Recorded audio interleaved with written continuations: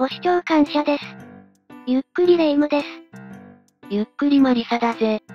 チャンネル登録頼んだぜ。皆様の登録がウプ主のやる気につながるぜ。時にマリサ？江戸幕府が長く続いた理由は何だと思う？なんだよ急に。まずは、後に鎖国で貿易の利益を独占して、金山などの重要な場所を抑える点が一つだ。そして、次に規則で僧侶や公家や大名などを法で縛った点が大きいだろう。まあ、それ以上にやらかしているものも多かったんだが。そういえば、家康はものすごい資産家だと聞いていますね。そして、厳しいルールを作っただけでは他の人はついてこない。身内や、直属の家臣こそ厳しくしていたのが大きいと思う。それに加え、不代には強大な領土を持たさず、役職や地位という名誉を持たせることでバランスをとっていたわけだな。そういえば不代はポンポン違法していますよね。動かなかった彦根藩が異例なくらいですよね。まあそんな感じだ。今回と次回にわたって、徳川の中心と身内に厳しいエピソードを紹介しようと思う。いかに忠義心が高く、信頼できる家臣でもルールには厳格でないと、初版に示しがつかないよな。その初期の厳しさが太平の世を作ったのかもしれませんね。室町幕府は家臣が強すぎて、弱体化したなんて話があるから、それを反面教師にしたかもしれないな。みんなは中心がルールを破った場合、許す？許さない？率直な意見をコメントに書いてくれ。マリサちゃんからのお願いだ。私からもお願いするわ。それじゃあ皆さん、ゆっくり歴史を覚えていってね。ここはどこかしらマリサ？ここは広告事情があった場所で、空堀の場所だそうだ。見ての通り廃城になっている。確か北条早雲の始まりの城じゃなかったっけ？マリサ？ああそういう説があるよな。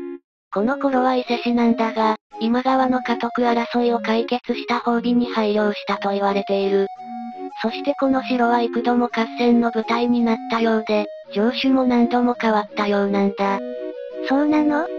詳しくは割愛するが、たびたび城主が変わった城で、今回紹介するのはその最後の城主の話なんだ。最後か。つまり何かやらかして、廃城になってしまうのね。どんな人なんだろうか。そんなわけで、今回の主人公は天野安影だ。家康の人質時代から付き従った、不代中の不代だ。うん？何か言いたそうだな霊夢石川和正さんじゃないんですか？バカ言うなよ。石川さんは左だ。天野さんは右の写真だぞ。本当に？だって、私がマリサを裏切った時石川さんやってたんだからわかるのよ。一緒にしか見えないわ。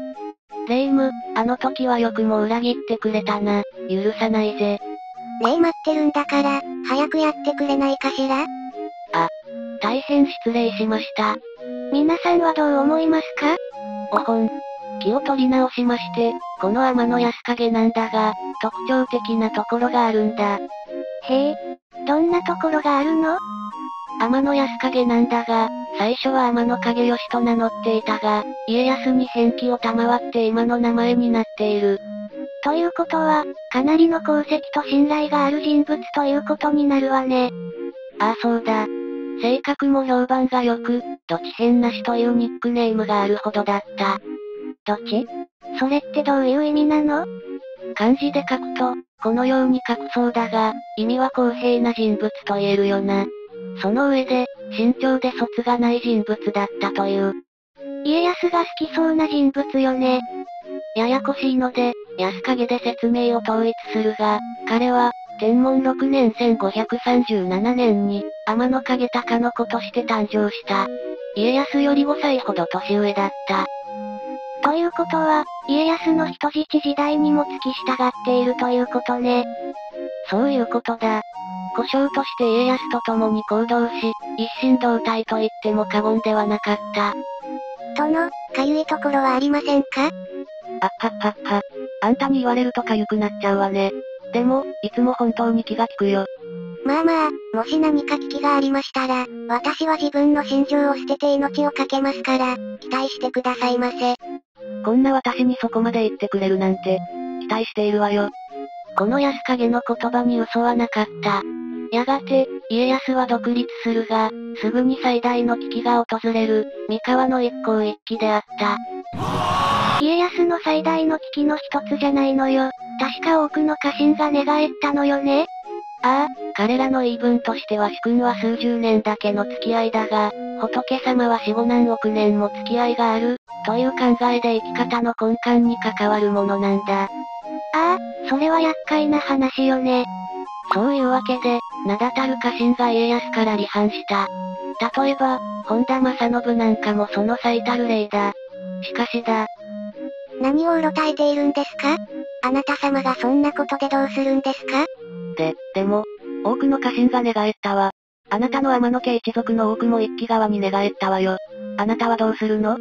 本田忠勝殿も終始替えをしました。仏より、殿の方が大切です。ここから離れませんよ。ありがとう。でも、抱きつかなくてもいいと思うのよ。安影は、一族の多くが一向宗側につく中、忠節を貫いて家康のそばを離れなかったという。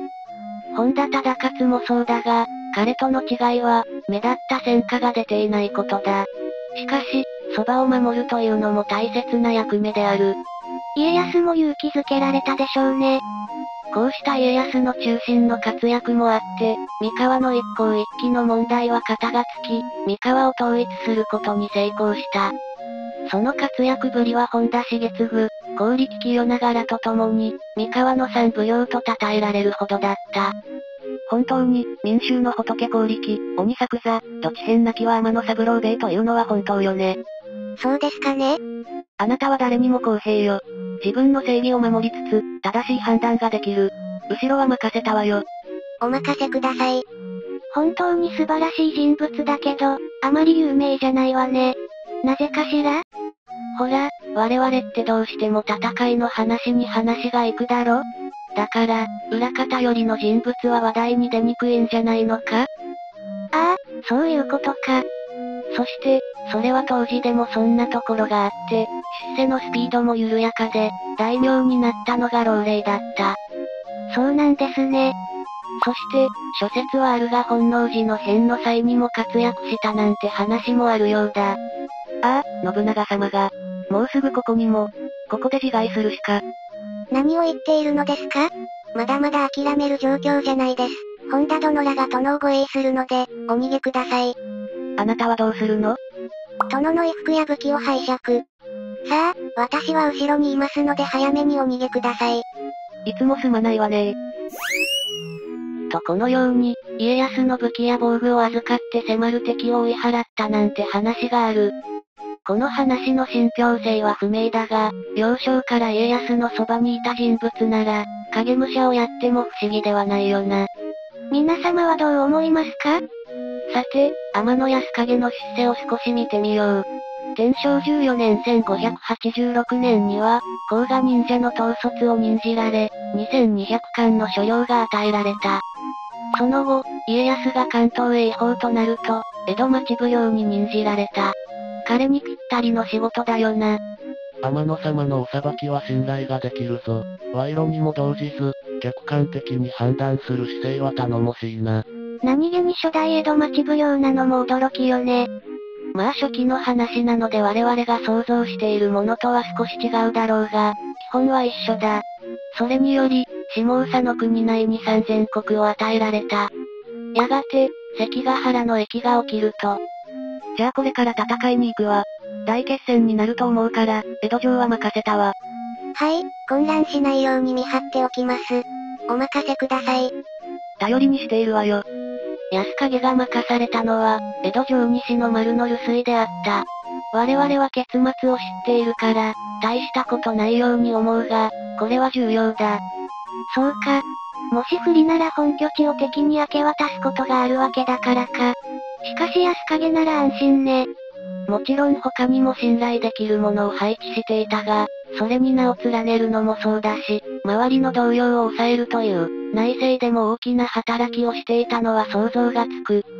隠して武力のあるものだけでなく、こうした縁の下の力持ちなどの活躍で、家康は関ヶ原の戦いに勝利できた。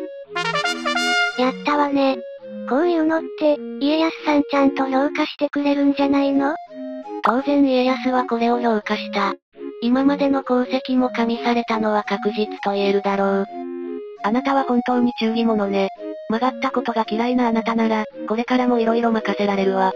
私は殿の命令に忠実に聞くのみです。そう？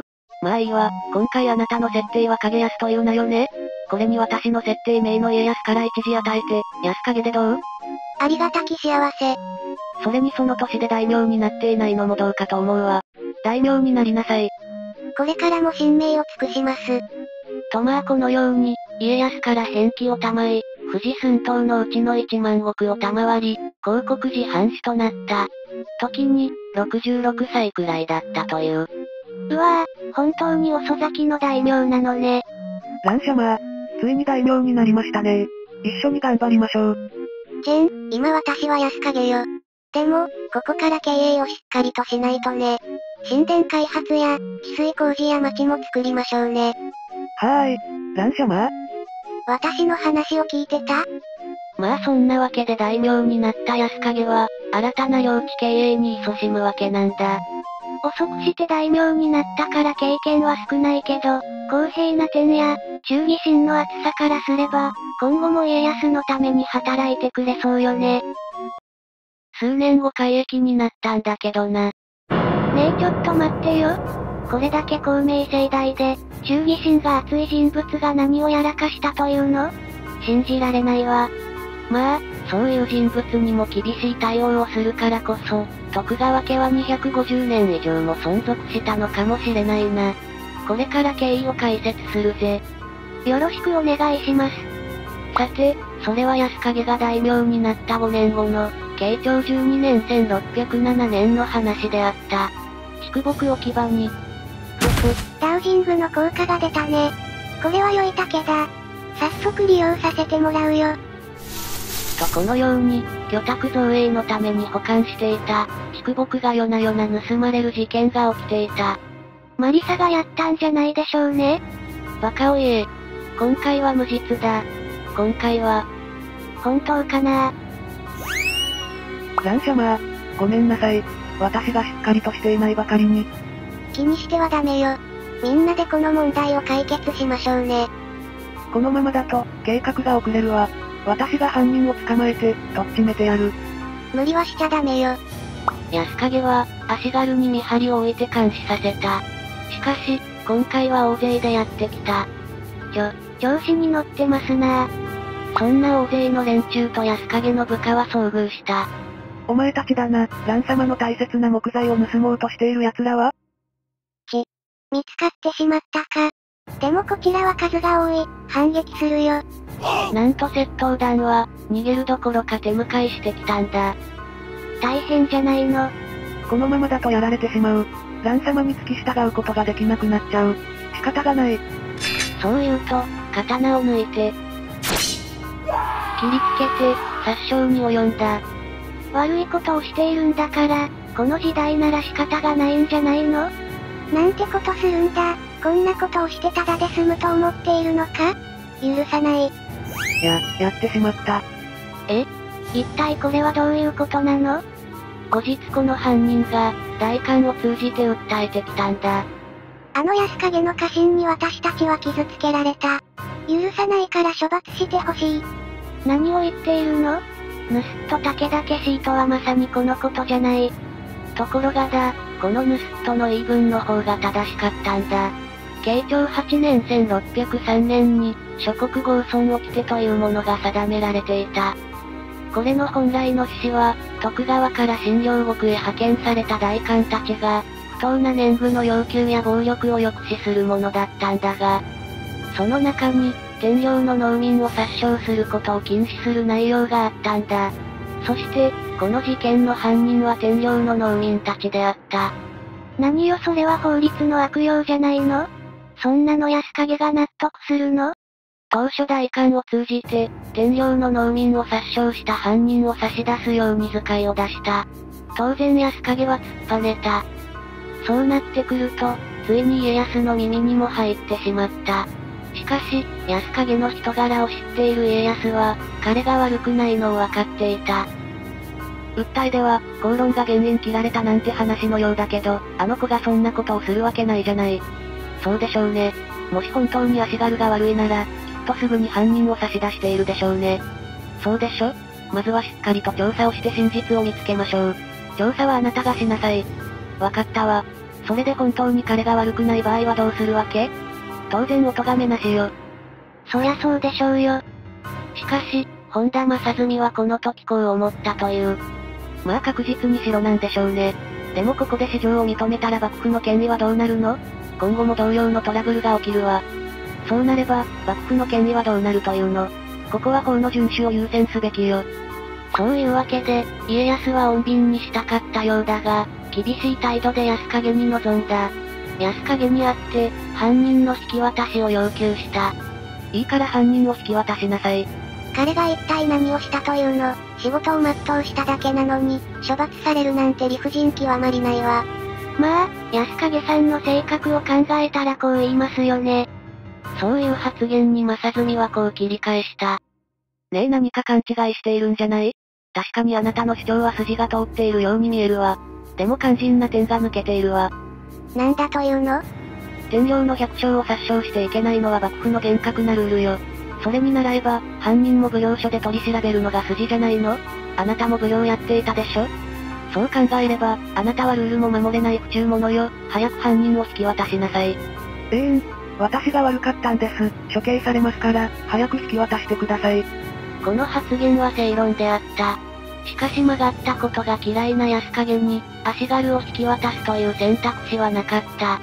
ついに激怒して、わかった、じゃあもう大名辞める、殿にお返しする。え、ちょっとなんと天野安影は、すべてを捨てて息子の安宗らと共に出奔してしまった。安影さんならやりそうですね。そして、彼は小田原の最年次に身を寄せているそうです。そう、何度も自国に戻るように使いを出したけど、まあ無理でしょうね。改易は仕方ないわね。家康はこの出奔を許す気でいた。しかし、土地変者の安影であった。自分は仕事を全うした家臣を罰せれないしかし、だからといって家康様に歯向かえない。出した結論が自分が身を引くということだったのだろう。苦渋の決断だったのかもしれないわね。こうして改易になって、広告時犯は廃場になってしまった。確かにルールは大切よね。でも処分した後は許しても問題ないでしょええ、それは自由じゃないかと思いますよ。殿が亡くなってからならなんとでも。え、縁起の悪いこと言わないでよ。天野安影は1613年慶長18年に亡くなった。その後寛永5年1628年に、息子安宗は赦免されて、戦況を賜り後に戦国の旗本となった。落ち着くところに落ち着いた感じよね。みんなはどう思う？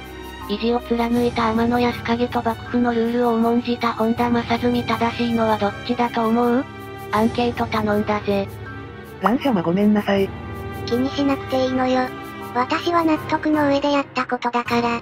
でもできれば、死ぬまで私を守ってね。はーい。一生ついていきます。こらこら。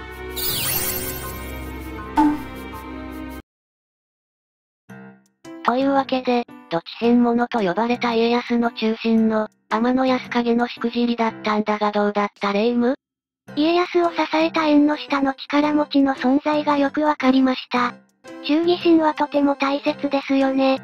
だからこそ、こういった家臣が法を破った場合の対処が重要になったのかもしれませんね。ああそうだ。しかも厄介なことに、旗から見れば正義なのが難しいところだ。しかしそれになーなーで済まさずに、法に従って厳しく対処したからこそ、徳川家が長く存続したのかもしれないよな。そうかもしれないわね。みんなは今回の話を聞いてどう思った？法を守るのが正しいか、正義を重んじるのが正しいか率直な意見を述べてほしいぜ。